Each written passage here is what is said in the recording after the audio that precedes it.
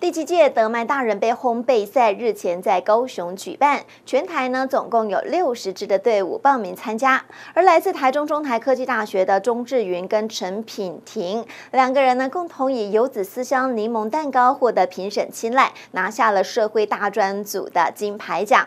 由于参赛者呢不乏五星级饭店的面包师傅，能够脱颖而出，相当不简单，也验证了学生平日扎实训练的成果。这是我的面包，欢迎来品尝。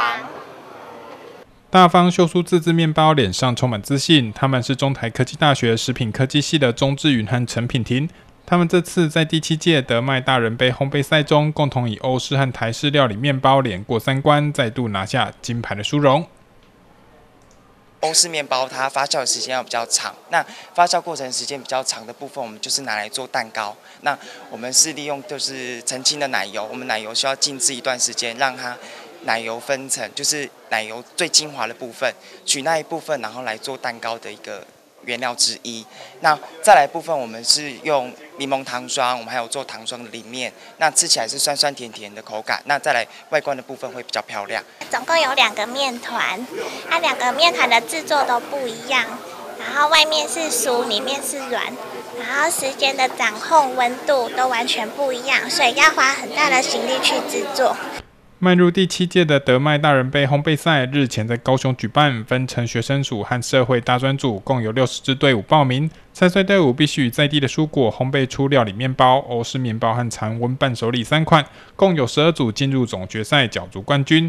最后，中台科技大学学生以游子思乡柠檬蛋糕获得评审的一致青睐，再度摘金。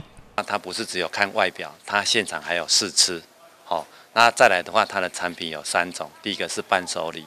好，第二个是欧式面包，好，第三个是比较台式的一个调理面包。所以说，这个全这个比赛算是一个在面包来讲，算是一个比较全面性，哦，各种都要烘焙产品都要做的一个产品。练习面包的技巧啊、手法啊，然后温度的掌控啊之类的。